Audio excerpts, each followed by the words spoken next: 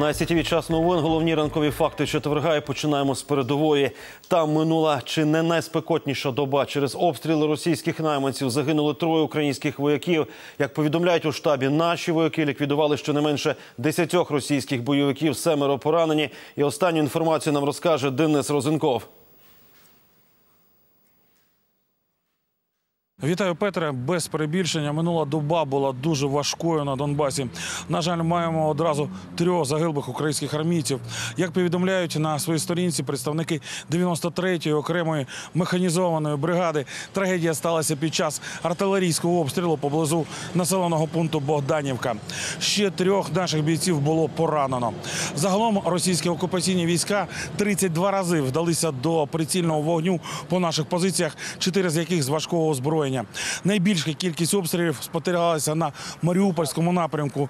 Тут ворог застосовував ствольну артилерію калібром 122 мм протитанкові керовані ракети. Під вогнем наші позиції в районі населених пунктів Лебединське, Вводяне, Гнутове, Талаківка, Старогнатівка, Павлополь, Богданівка та Широкіне.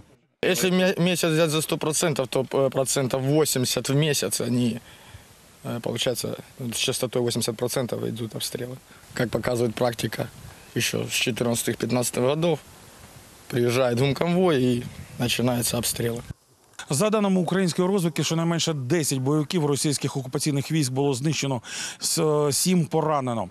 На Донецькому напрямку противник ак- активізував бойові дії. Зафіксовано вогонь з озброєння БМП. Під прицільним вогнем також перебувають захисники Мар'їнки, Авдіївки, Південного Опитного та Новомихайлівки. За крайні три доби ну, противник був активізований, використовував заборонені мінськими домовленостями калібри, обстрілював наші позиції і 82-м калібром, і 120-м.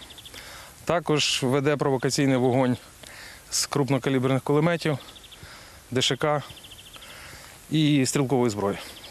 Нагадаю, напередодні тристороння контактна група, що збирається у мінську, домовилась про чергове перемир'я, тобто припинення вогну вогню на сході України. Режим тиші на Донбасі має бути оголошений опівночі 1 липня. На цьому це поки вся інформація. Петре. З нами був Денис Розенков. Дякую. Отже, як сказав наш кореспондент, з 1 липня на сході має початися перемир'я на час жнив. Про це напередодні домовилися у мінську. Українська сторона заявила, наполягає на виконанні безпекового блоку мінських угод та готова до компромісу для повернення заручників.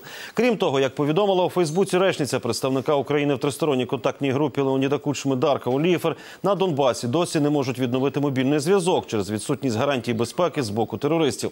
Нагадаю про попереднє припинення вогню в зоні. Е, проведення дій, великоднє перемир'я. Сторони домовилися наприкінці березня, однак режим тиші тоді порушувався.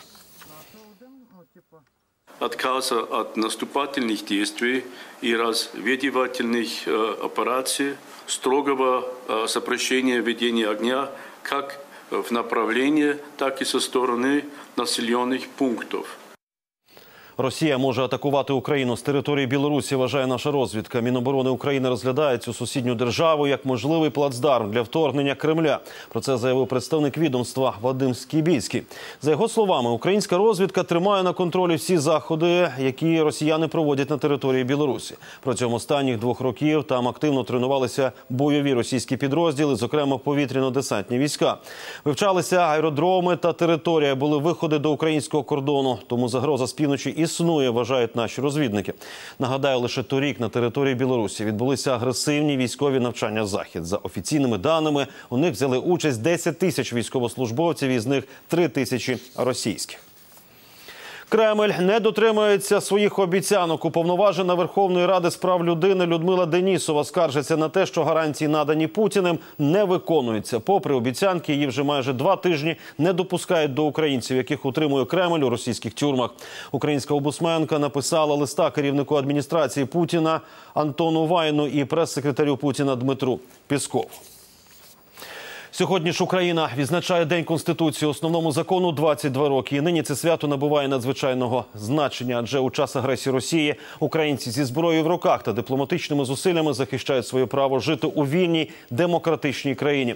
Тоді ж, 96-го, після майже доби безперервної роботи у сесійній залі, депутати таки ухвалили документ, чим закріпили правові основи незалежної країни. Вдалося відстояти питання української мови, але комуністи домоглися автономії для Криму. З того часу закон неодноразово змінювався. 2004-го, 2010-го, скандальне голосування у січні 2014-го, яке вело країну до узурпації влади, що радикалізувало майдан. 2015-го закон змінили для проведення децентралізації, 16-го для перезапуску судової системи. Так чи інакше, 22 роки тому ми отримали документ, який надав українській державності чинного статусу. Василь Саф'янюк зустрічався зі свідками тих подій. 22 роки тому Верховна Рада після 24-годинної безперервної роботи, запеклих суперечок і непростих компромісів ухвалила одне із найважливіших своїх рішень в історії України. А тепер можна встати. Є конституція. Головний ініціатор ухвалення основного закону, тодішній президент Леонід Кучма, поставив питання руба: або Рада ухвалює основний закон, або у вересні він проводить референдум з прийняття конституції.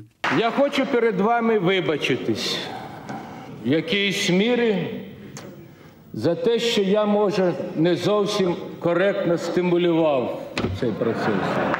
Але, шановні друзі, ви достойно показали і доказали не тільки собі, а й народу нашому і всьому світу,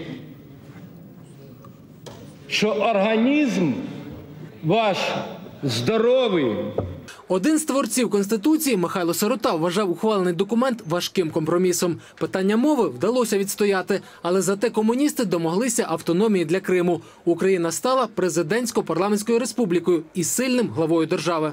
В результаті оцієї боротьби і єдності протилежності інтересів і президента, і крупного капіталу, і парламентарів, і суспільства ми отримали перехідну форму президентсько-парламентську з сильним президентом, але і не слабким парламентом. У другій половині 90-х, аби ефективно керувати країною і вивести її зі скрути, потрібна була сильна президентська влада, переконаний Леонід Кучма. Адже парламент тоді був лише своєрідним піар-майданчиком для партійних лідерів, які постійно критикували виконавчу владу і президента, не відповідали ні за що і гальмували важливі реформи.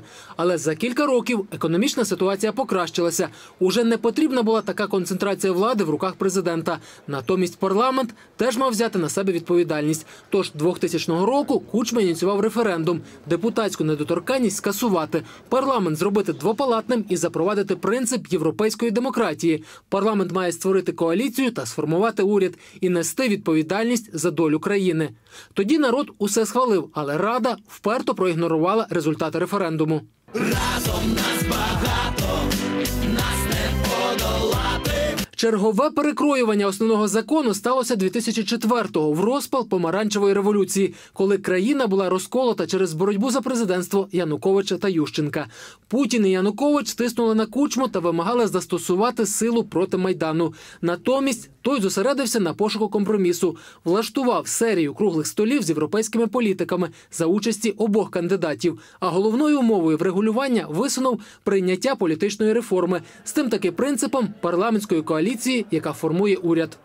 В цій залі багато депутатів, які пам'ятають, як приймалась Конституція. Я й сьогодні прийшов в цей зал з розумінням того, що те рішення, яке сьогодні необхідне не якійсь частини парламенту, а країні нашої, буде прийнято. Дякую. Та прийшовши до влади 2010 року, Янукович захотів повернути собі повноваження. Регіонали натиснули на конституційний суд, і той скасував політреформу 2004 року. Україна знову стала президентсько-парламентською. Така редакція проіснувала стільки ж, скільки при владі був Янукович. І вже в лютому 2014-го, після його втечі, парламент одразу ж повернув редакцію 2004 року. За 386. Та конституційний процес не зупиняється. 2015-го основний закон змінили для проведення децентралізації. 16-го – для перезапуску судової системи та очищення суддівського корпусу від корупціонерів. А цього року ймовірно, що в конституції спробують закріпити і євроатлантичний курс України. Це наш стратегічний курс, і найближчим часом я маю закріпити його в українській конституції. І, звичайно ж, ще одна довгоочікувана зміна скасування депутатської недоторканності. Її обіцяють усі парламенти і президенти, але поки головний привілей слугів народу непорушний. Василь Сафянюк, факти ICTV. Берегти права та свободи у час війни з Росією не так вже легко. Кремль веде гібридну війну проти України на всіх фронтах зброєю, економічним та газовим тиском на міжнародній арені, політично намагаючись проштовхнути завербованих в Україні політиків у владу. І це добре розуміємо не лише ми, а й наші західні партнери. Адже Москва веде війну і з Європою, і зі Сполученими Штатами. Спікер Андрій Парубій у Вашингтоні зустрічався з політиками і запевняє, що американці знають, з ким мають справу, яку загрозу несе північний потік і готуються запровадити нові санкції проти Росії. З Вашингтона Андрій Ковальський. Північний потік 2 не бізнесовий, а політичний проект. Це економічна зброя для тиску в першу чергу на Україну. У цьому конгресменів США до Вашингтона приїхали переконувати глави парламентів України, Грузії, Молдови та Литви. Ці країни добре знають, які загрози несе Росія сучасному світові. З ким має справу, знають і в Америці. Газ чи не основний механізм тиску Росії на увесь вільний світ. Окрім політичного впливу, це ще джерело корупції. Будівництво нового газопроводу до Німеччини поставить Європу в дуже скрутне становище. А для України означатиме кінець унікальної газотранспортної системи. Досі вона залишається чи не головним чинником, який стримує Путіна від загарбання України. Зупинити будівництво другого північного потоку можна лише за допомогою США. Голови парламентів України, Молдови, Литви, Грузії та Польщі мали закриту зустріч зі спікером Палати представників Конгресу США Полом Райаном, де питання санкцій було головним. Спікер Райн дуже гостро відчувають небезпеку будівництва Північного потоку 2 і розглядають механізм впровадження санкцій. З моменту, коли будуть впроваджені санкції проти усіх компаній, які беруть участь в цьому проєкті, звичайно, цей проєкт залишиться тільки проєктом. Впровадження санкцій можна очікувати вже найближчим часом, адже у Вашингтоні розуміють їхню важливість. Росіяни уже не раз використовували газ як економічну зброю для шантажу. Двічі українці залишалися без тепла в найлютіші морози. Страждали від Росії і Молдова. Коли ми підписали угоду з ЄС про асоціацію, до Кишинева приїхав тепер уже колишній віце-прем'єр-міністр Росії містер Рогозін. І між іншим він сказав: не забувайте, що зима наближається, і ви можете замерзнути. Що це як не зброя проти моєї країни? У Кремлі прагнуть повернути вплив над територіями, які колись входили до складу СРСР, і не гребують будь-якими методами. Тому ще одне важливе питання кібербезпека. Росіяни через хакерів можуть вплинути на результати виборів в Україні наступного року. По допомогу наші дипломати звернулися до американців, а ще просили визнати голодомор 85 років тому геноцидом українського народу. Відповідна резолюція у Конгресі США уже зареєстрована. Зі Сполучених Штатів Америки Андрій Ковальський, Максим Костенко. Факти ICTV. Польща працює над тим, аби остаточно відмовитися від російського газу. Це стане можливим через 5 років, кажуть експерти, особливо після підписання напередодні контракту між польською газовою компанією та двома американськими фірмами контрактів про постачання скрапленого газу. Його почнуть доправляти до Польщі з 2022 року. Загалом ці компанії постачатимуть на рік 4 мільярди 4 мільйони тонн скрапленого газу. Після переробки це 11 мільярдів кубометрів, що становить третину газу, який споживає країна. Польська сторона дала зрозуміти, коли нинішня угода з Газпромом закінчиться, нової не укладатимуть. 35 мільйонів е, фунтів стерлінгів, а це мільярд 200 мільйонів гривень. Стільки виділить Велика Британія Україні. Гроші підуть на посилення безпеки, забезпечення стабільності, боротьбу з корупцією, протистояння російській дезінформації, підтримку реформи та гуманітарну допомогу. Про це повідомило британське міністерство закордонних справ. Там відзначають, останнім часом Україна здійснила кілька серйозних кроків у боротьбі з корупцією та посиленням прозорості інституцій, а також досягла значного прогресу в децентралізації та реформі охорони здоров'я. Точкові зміни вже сьогодні цінніші за глобальні проекти, які ніколи так і не реалізують. Герой нашого наступного сюжету, учасник телепроекту Нові лідери, популярний блогер Олександр Барабошко. Молодий чоловік не бере собі за мету змінити планету, а покращити життя навколо себе вже зараз. Наприклад, добитися, аби відремонтували ескалатор поблизу вокзалу, провели в метро інтернет чи встановили розетки в під'їздах.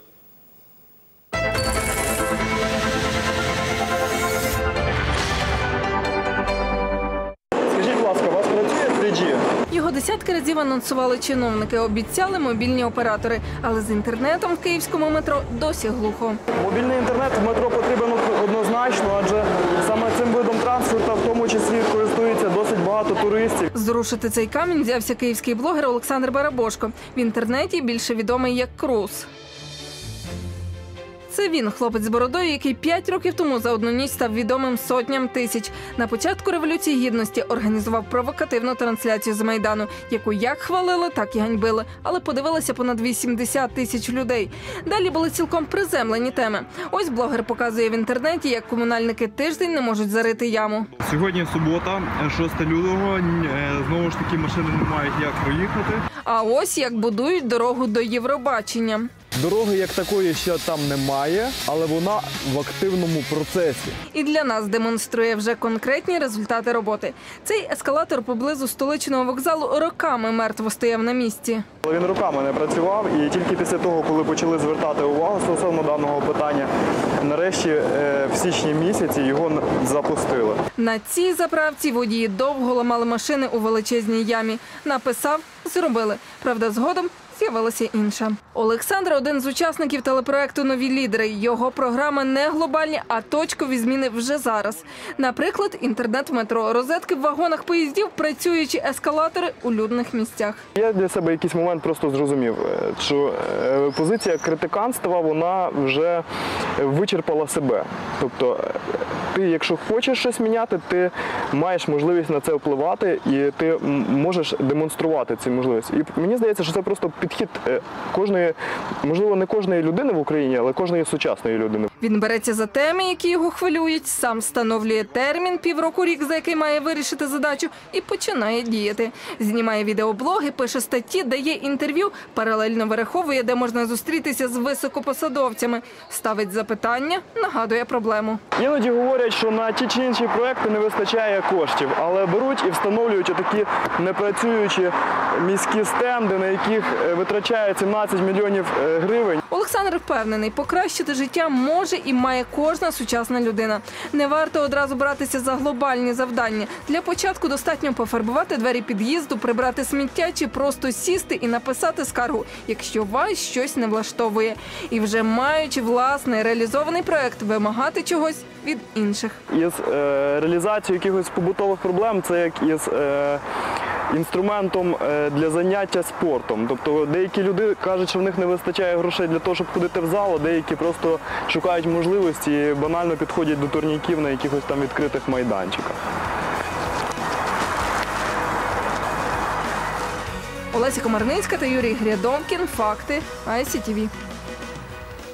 П'ять днів і 170 музикантів з 17 країн світу. У Львові стартував фестиваль поціновувачів музики вільних Леополіс Джаз Фест. Місто Лева вже восьме стає центром знаменитих мотивів, бо ж три сцени об'єднують як українських, так і закордонних джазових виконавців. Для шанувальників підготували авторські майстер-класи і кінопокази. А в перший день відкриття зі сцени, що на площі ринок, вже пролунали перші джазові композиції.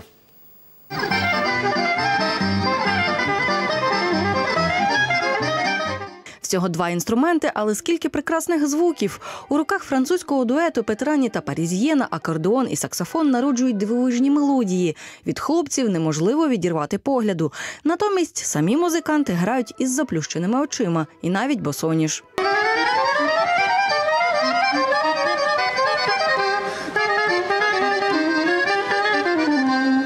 Це така музика, яка дуже емоційна, і не лише справа в техніці, але ще в якійсь духовності. Це зовсім інша атмосфера, зовсім по-іншому слухаєш і ще дивишся на музикантів. Вони передають свою енергетику, і це дуже цікаво.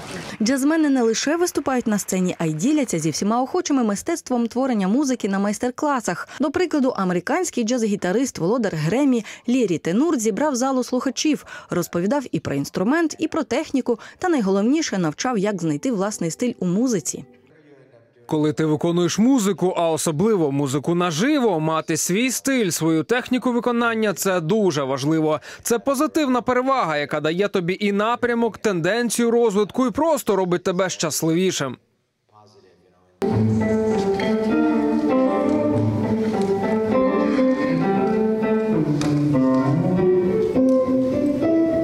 Дуже люблю джаз і е, доторкнутися до таких метрів е, світового масштабу е, це просто ну неймовірна можливість. Тому ми відкладаємо всі справи і намагаємось приїхати з першого дня бути тут. Наповнювати серце джазом у Львові можна не лише біля сцен. Музика вільних тут котиться навіть на колесах.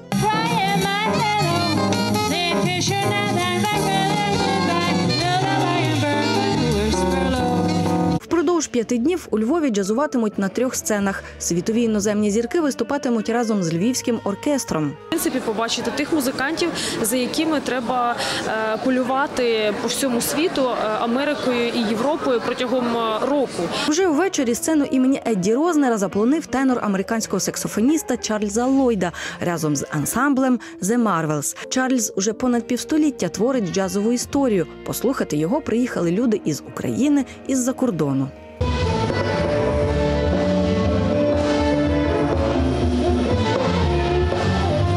Музикант не лише задає жару на саксофоні, а й на флейті. Йому 80, але виконавець не пропускає шанс виступити на фестивалях і викликав на Леополіс Джаз Фесті фурор.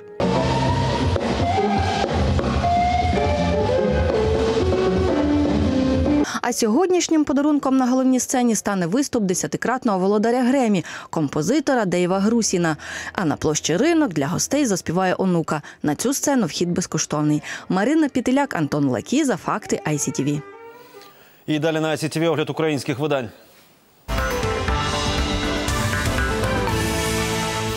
1 липня українці мають одержати квитанції на оплату податку на землю. Це щорічний платіж, суму якого встановлює місцева влада. Та цього року у його оплаті відбулися зміни. Зокрема, тепер, якщо власник земельної ділянки не отримав квитанцію вчасно, на нього не мають права накладати штраф. Проте хто має платити податок на землю, за які ділянки та чи можна уникнути його сплати, пише газета Факти.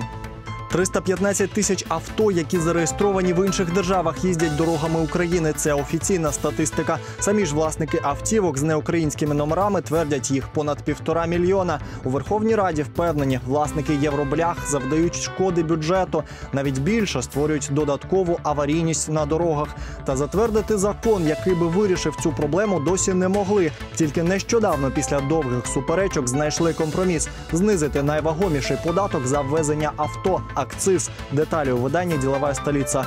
Володимир Варфоломєєв, факти ICTV. Про головні новини спорту розкаже Вячеслав Цималюк. Вітаю, Петре. Про футбол. Німеччина у скорботі. Футбольний король помер. Хай живе новий король. А хто ним стане, дізнаємося майже за два тижні у фіналі чемпіонату світу. Цікаво, що вже на третьому поспіль мундіалі чинний чемпіон не виходить з групи. До провалів Італії у 2010-му та Іспанії у 2014-му додалася ще й Німеччина.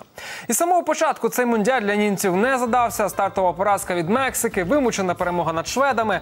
В останній грі з аутсайдером Південної Кореї німці, здавалося, вийдуть в плей-офф, адже у п'яти попередніх поєдинках Німеччина завжди перемагала представників Азії. Однак 90 хвилин минуло, а на табло так і горіли нулі. А в доданий час корейці поготів спершу забили з кутового, після чого добили Німеччину вже голом у порожні ворота.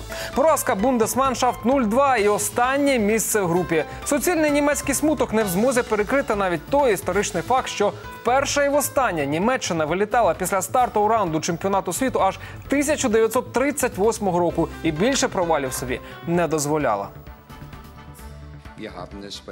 Збірна Німеччини протягом 12 років була найстабільнішою командою на міжнародних турнірах. Ми ніколи не посідали місце нижче першої четвірки, але тепер нас там не буде. Це абсолютне розчарування, і нам потрібно зробити правильні висновки. А ось збірна Швеції продемонструвала, як потрібно вигравати у вирішальному поєдинку та ще й з необхідним рахунком. Команда Мексики, яка до цього одноосібно лідирувала в групі, була розгромлена 3-0. Якби німці виграли, взагалі б пролетіла повз плей-офф. Однак, дякуючи південній Кореї, мексиканці фінішували другими. А Швеція виграла групу і в одній восьмій уникнула зустрічі з Бразилією. Адже пентакампіони впевнено виграли в головних претендентів на вихід в плей-офф збірної Сербії 2-0. Швейцарія, заощаджуючи сили, розійшлася миром з Коста-Рикою 2-2 і посіла друге місце. Тепер у одній восьмій фіналу швейцарці зійдуться зі Швецією, а Бразилія з Мексикою. І сьогодні нарешті стануть відомі останні чотири учасники плей-офф, точніше два з них, адже в групі G Англія та Бельгія вже гарантували собі одну восьму. І тепер в очному поєдинку вирішуватимуть, хто посяде перше, а хто друге місце. Причому абсолютна рівність за основними показниками очки, різниця забитих та пропущених м'ячів можуть призвести до того, що переможця квартету виявить менша кількість отриманих жовтих карток або навіть жереб. Жеребкування може знадобитися для визначення переможців у групі G. Збірні Англії та Бельгії після двох турів здобули по шість очок та ще й мають однакову кількість забитих і пропущених м'ячів. Впевнено обіграли аутсайдерів групи збірні Панами і Тунісу, які вже не мають шансів пройти далі. Тепер зіграють між собою. Поки англійці лідери квартету, бо в них менше на одну жовту картку. Тож червоним дияволам треба вигравати або ж при нічийному результаті змусити левів заробити більше гірчичників. Бельгійцям ще жодного разу не вдавалося перемогти збірну Англії на чемпіонатах світу. Тож букмекери називають англійців фаворитами матчу. Ми хочемо виграти і стати лідерами групи, і далі впевнено рухатися вперед. Ми намагаємося виробити менталітет переможця. На чемпіонаті світу граєш проти найкращих команд.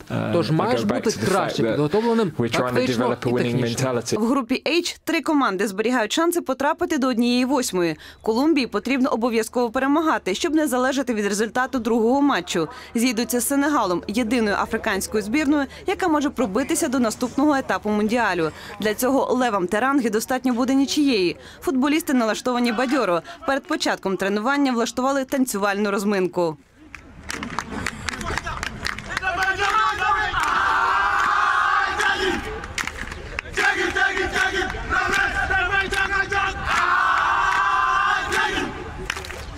Немає причин, які б завадили нам потрапити до 16 найкращих команд світу. Мотивація висока. Ми впевнені, що можемо досягти результату і протягом 90 хвилин написати новий розділ у футбольній історії нашої країни. Збірна Польщі не набрала жодного очка після двох турів і почала пакувати валізи додому. В останньому матчі зіграє зі збірною Японії. Самураї мають чотири очки і поки лідери групи. Зігравши в нічию, практично гарантують собі місце в плей-офф. Та для поляків остання гра матч престижу. Тож попрощатися з чемпіонатом світу в Росії спробують гримнувши дверима. Анна Боль, факти ICTV. Київське Динамо провело свій перший товариський матч літнього міжсезоння. Підготовку до матчу за суперкубок і старту прем'єр-ліги кияни розпочали на своїй домашній базі. Підсумком першого етапу зборів стала товариська гра з клубом першої ліги колосом з Ковалівки. Кияни неочікувано пропустили першими всередині стартового тайму. Однак по перерві Хльобас та новачок Динамо Чече принесли киянам перемогу 2-1. Вже завтра динамівці вирішать на свої другі збори вже до Австрії, де протягом двох тижнів зіграють п'ять товариських матчів. Зокрема, суперниками підопічних Хаскевича будуть азербайджанський Карабах, чеська Вікторія Пилзень та румунський Ботошані. Тим часом чемпіони України Донецький Шахтар вже один спаринг на закордонних зборах у Німеччині відіграв, перемігши данський Бронбю 3-2. В суботу гірники зійдуться вже з Софійським ЦСКА, поки продовжують набирати форму на тренуваннях. Напередодні заняття не переривалися навіть попри дощову погоду в північних Альпах. Зокрема, футболісти продовжують поєднувати силові навантаження із тактичною роботою. Марта Костюк вийшла до фіналу кваліфікації найпрестижнішого тенісного турніру на трав'яному покритті Вимблдону. 15-річна українка у трьох сетах здолала американку Крістіан 6-7, 6-3 та 7-9 і перебуває за один крок від своєї першої участі на дорослому Вимблдоні. Тим часом фаворитки цього турніру, який стартує вже в понеділок, перевірять свої сили на змаганнях в Ізборні. Перший номер посіву та друга ракетка планети Кароліна Возняцька вийшла до чвертьфіналу. Британка Джоанна Конта змогла виграти у фаворитки перший сет 6-4, але в двох наступних партіях Возняцький поставила суперницю на місце 6-1 та 6-4. За путівку в півфіналі Данка зійдеться з француженкою Ешлі Барті. Ну, а з Петром Демінчуком зустрінетеся в наступному випуску фактів о 12.45. Не забудьте. Шукаємо нову інформацію. 12.45 зустріч. Хорошого дня. На все добре.